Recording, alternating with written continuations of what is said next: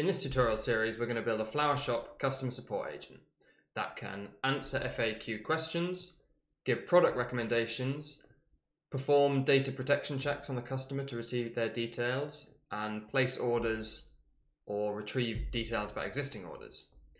We're going to be using Streamlit for the front end, LangGraph to run the chatbot behind the scenes. We're going to be using ChromaDB, that's a local vector store that uses Postgres, and then we're going to be using Llama Index to run a Hugging Face embedding model locally to calculate our embeddings and perform our RAG retrieval. There are five episodes in this series.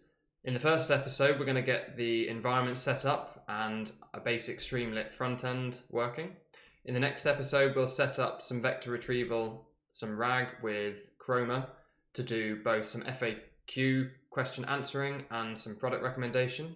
In the episode after that, we'll set up LangGraph to run the chatbot. Episode after that, we'll look at customer management, retrieving existing customers, creating new customers. And in the final episode, we're going to look at once we've got the customer details, let's place some orders or retrieve details about an existing order.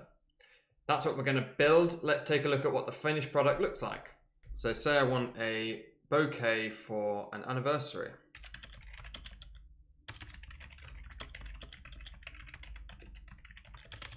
It's gone away, done something with the knowledge base and got some recommendations back.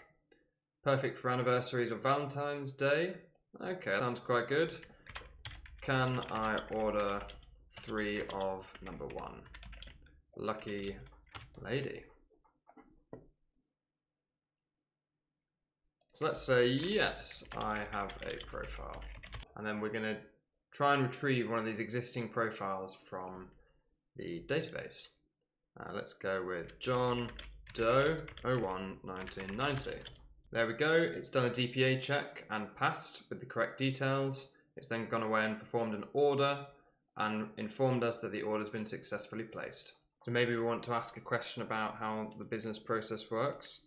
So do you offer delivery? And we can see it's gone away and found some relevant information from our knowledge base and correctly told us that there's, they offer same day, next day, or scheduled delivery. Great. If you want to learn how to build this, then check out the episode series starting with setting up a Streamlit GUI right here. If this is the kind of content you like, please hit like and subscribe, and I hope you enjoy the tutorial. See you in the next episode.